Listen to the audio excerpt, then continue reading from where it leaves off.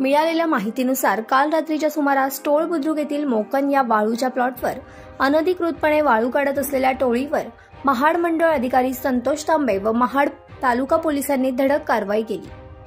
तालुका police स्टेशनचे police निरीक्षक Deshmukh police हवालदार राठोड पोत्रे धोत्रे यांनी रात्रीच्या वेळेस ही मोठी कारवाई केली आहे. या कारवाईमध्ये पोलिसांनी तीन फायबर बोटीसहित पाच लाख बावन्न हजार नऊशे सत्याऐंशी रुपयाचा मुद्देमाल जप्त केला आहे. यामध्ये अनधिकृतपणे वाळू उपसा करणारे अज्ञात आरोपी फरार आहेत.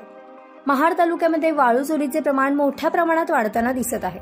या संपूर्ण घटनेविरुद्ध महाड तालुका पोलीस ठाण्यामध्ये गुन्हा दाखल झाला असून त्याचा अधिक तपास उपविभागीय पोलीस अधिकारी निलेश तांबे व पोलीस निरीक्षक देशमुख यांच्या मार्गदर्शनाखाली पोलीस नाईक धोत्रे व पोलीस हवालदार राठोड हे करीत आहेत. रायगड न्यूज समीउल्ला पठाण महाड रायगड. महाराष्ट्रातील घडामोडींसाठी रायगड न्यूज चॅनलला सबस्क्राईब करा आणि बेल आयकॉन प्रेस करा.